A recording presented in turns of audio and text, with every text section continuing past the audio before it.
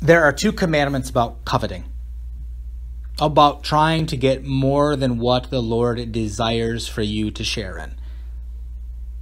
It's about not taking more than our fair share and learning to be content with the blessings that God shares with us. These commandments guide us into a life of joy, a faith that God provides everything we will ever need. And so the question we will address in our summer sermon series today is a good one. Do you think bad things happen as God's payback for not leaving well enough alone? I think the baseline question here is what if I wasn't happy enough with what God had already given me? In deciding to take things into my own hands now I'm suffering the consequences of my decision. We all might want to know what happens when I take my desires for more into my own hands. Now that I'm suffering negative consequences, is it God who's teaching me a lesson? I think that in our moments of pain, we've probably all asked this question. Well, what does our gospel reading today have to say about this? Is this sound theology? In our gospel today, we are invited to see how other people handled this issue of wanting more than they had. And we too are privileged to see how Jesus handles their desires, to not just leave well enough alone. There are two miracles here in our gospel reading sandwiched together inside of the story of the healing or maybe even a resurrection of Jairus' daughter is the healing of the hemorrhaging woman. I'm going to try to pull them apart and then put them back together again so that we can see the importance of Jesus' message to his followers that hear these stories. First off, the bread, the healing of Jairus' daughter there's this man that approaches Jesus and this deep need for his daughter. She's sick, she's dying, and he isn't willing to just leave well enough alone.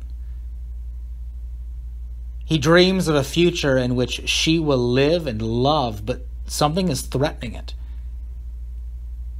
Is it coveting to want more than what this world is offering him? I don't think so. Is this death of his child what God wants?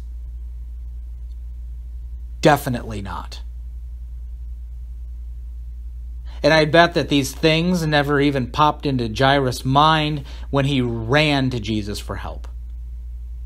He didn't care if he wanted more than what was given to him. He simply wanted life itself for his daughter. He didn't care if anybody thought that he should just accept his daughter's fate. No, he ran to Jesus, this miracle healer that he had heard about. He wasn't willing to leave this issue alone. And what is interesting for us is that neither is Jesus willing to just leave it alone. Accepting that death is just a part of life, accepting that what is happening must be God's will. Jairus believes that if Jesus will simply lay his hands on his daughter, that she will be made well. Jairus turns to Jesus for the answer, knowing that the solutions of this world will never work. Now, in this miracle story, we learn that Jairus' daughter has begun beyond any help, that she has in fact died. But as we will learn, this isn't going to affect the end of the story. As a matter of fact, because Jairus came in faith to Jesus, we see that not even death is going to stop Jesus from healing the girl. Only too late in the timeline of the world, Jesus goes to the house of the dead little girl. Unwilling himself to leave well enough alone, Jesus, with the crowd laughing at him, because people don't just rise from the dead, enters the house with the girl's parents. He holds her hand and, with an authority that conquers even death, says, Little girl, get up. With these simple words spoken by the Christ, she is restored to the life that her father had coveted for her.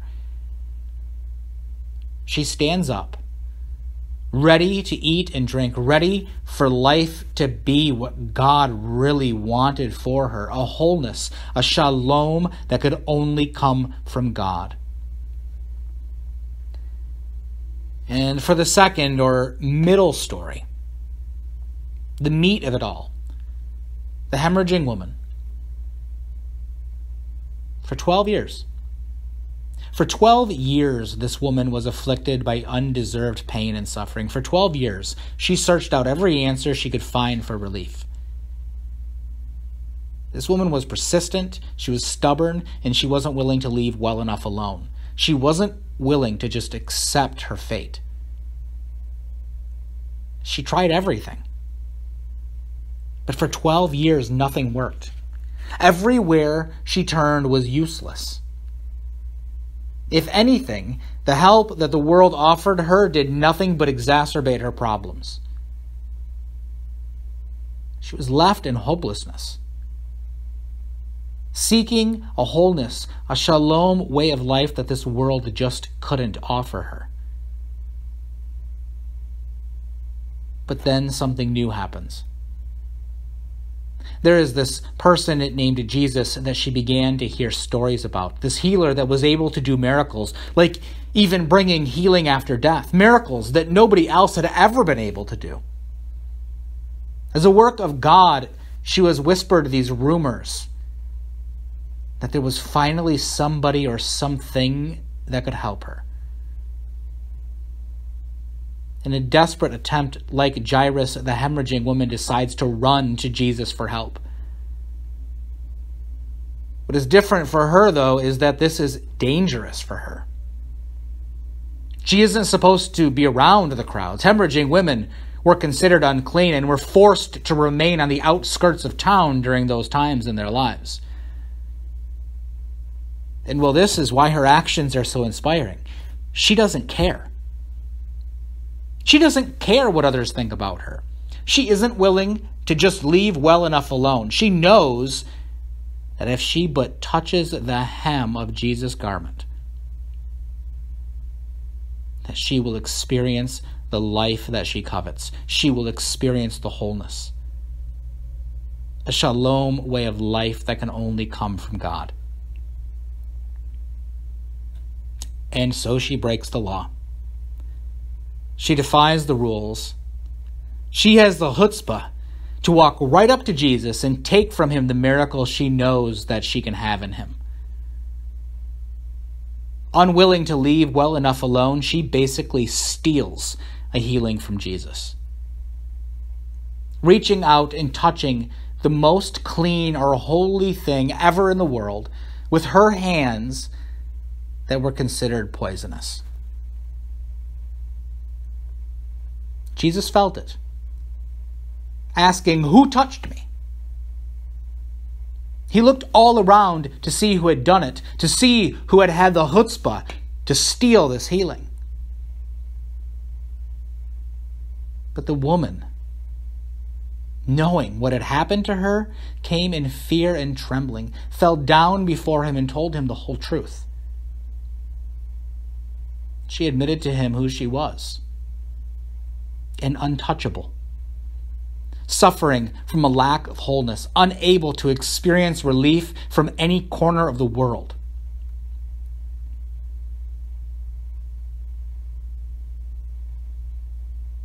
Now, thinking about our question today Did Jesus punish her for not leaving well enough alone? No. He instead, with merciful eyes, says, Daughter, your faith has made you well. Go in peace and be healed of your disease. She leaves with a new lease on life. Like Jairus' daughter, Jesus has restored the woman's life.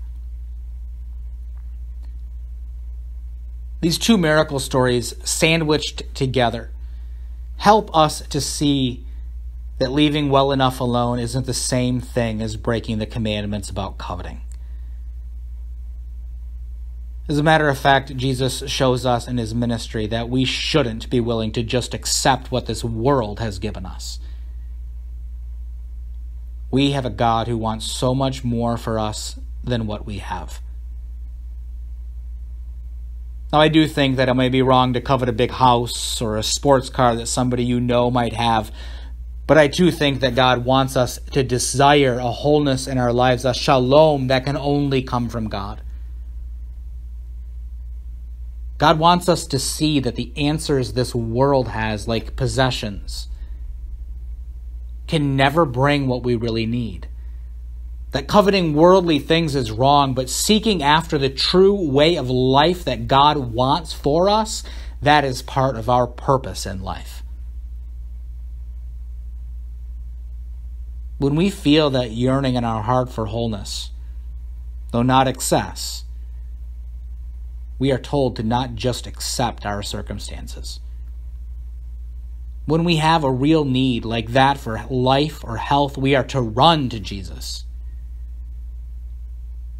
We can have the faith that God wants for us what we need. And even when this world wants to prove to us that all is lost, that time has expired, that in Jesus Christ that is simply not true. Jesus shows us in these miracle stories that we have a God who loves us. That in our need, when we run to Jesus, He will be there to help in the ways that our human answers never could. Purpose for these stories is for us to covet the ways of life that God wants for us not to accept what the world lies about and says, this is enough for you. But no, it's not about possessions, like the commandments warn us about. It's about a new life, a whole life, a shalom way in Jesus Christ. In the end, one of the reasons for these miracle stories is that we may know that new life is always possible in Jesus Christ. That He has entered our life of suffering to offer us exactly this. We aren't supposed to leave well enough alone. God has something far greater in store for you than what this world could ever offer. Don't just accept a way of life less than one in Christ. God has come to make you whole. Run to Him in your need. It's never too late. The ways of this world aren't what God wants either. Don't leave well enough alone because what God has in mind for you in Jesus Christ is greater than anything you have ever seen. Amen.